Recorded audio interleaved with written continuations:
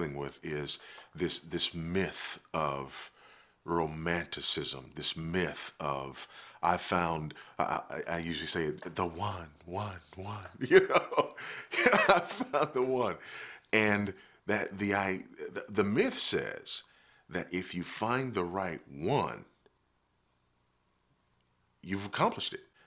The reality is that you can't know the one until you get married. And then you know they're the one because you got married. If you start with that mythological idea, then basically you get married and difficulty happens. Well, if the myth says marry the right one and it's going to be clear sailing, I got married and it wasn't clear sailing, guess what? I must have married the wrong one. We should never enter into marriage with an open door policy or a mindset that, okay, this may not work. We enter into marriage that says that this is my life for the rest of my life, and this car has no reverse. My marriage has to tell the truth about God.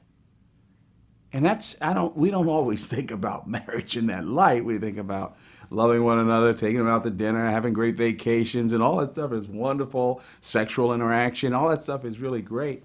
But the truth of the matter is, the ultimate purpose of a marriage relationship in human history, frankly, is that my marriage is to reflect and to tell the truth about the God we're related to.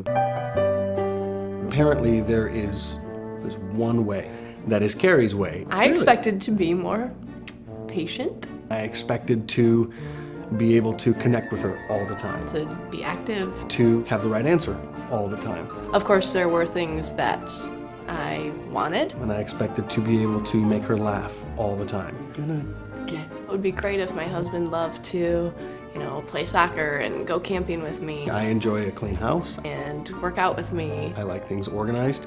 Sex almost every week. Um, I mean, it's being with your best friend all the time. That's not always true. Also, that it would be fun. And to get an RV and travel the US. I, I thought it would be a lot of work, which it is. Because we married forever, but um, awesome.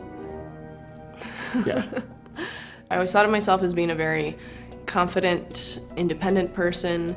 I didn't realize how vulnerable marriage would make me. If I do something and I try and it it doesn't work out well and she's disappointed or annoyed, like that just that kills me.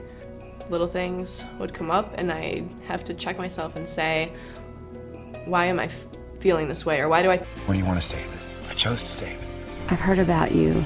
This is the first time I think I really believe in you. If you'd like a makeover for your marriage, we're inviting you to a weekend. You ready to get in touch with your feelings? Marriage isn't just about how your spouse makes you feel good. You're looking at each other like you're opponents on opposite teams. The only way you're going to win is you work together. Lose your life? What do you want to save it? I chose to save it. I've heard about you. This is the first time I think I really believe in you. I don't care if I win, but I don't want you to lose. You win, I win. Melanie, I love you. You forgive me? I do.